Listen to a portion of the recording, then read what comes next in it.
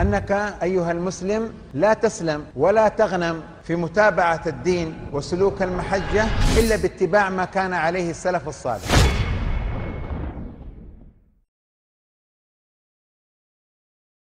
آه، سؤال يقول ما رأي سماحتكم في موقف الدول الإسلامية تجاه العدوان على المسلمين في لبنان وفلسطين وقتل النساء والأطفال والشيوخ وتشريدهم وهل هذا الموقف يتفق مع الشريعة الإسلامية؟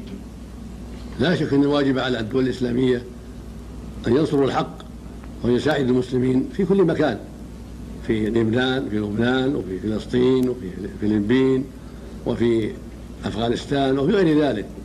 لكن هل يستطيعون؟ وهم على هذه الحال متفرقون. لا يستطيعون إلا باجتماع وصدق وتعاون.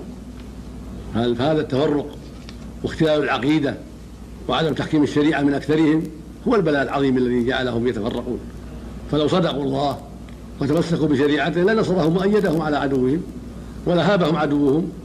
حتى الأمريكان وحتى الروس لو تجمع المسلمون وصدقوا لا أعطوهم حقوقهم ولم يتعدوا عليهم. لكن هذا التفرق وهذا البلد الذي وقعوا فيه هو سبب احتقارهم وسبب تسليط الأعداء عليهم. وهم آثمون بهذا التفرق. وعليهم أن يتقوا الله ويسعوا جاهدين في إزالة هذا التفرق وفي التعاون. ومن سعى في ذلك واجتهد فله أجران إذا أصاب ومن أخطأ فله أجر إذا صلحت نيته. ولكن المصيبة فساد العقائد. كثير منهم ليس عنده العقيدة الصحيحة المستقيمة الموافقة لشرع الله.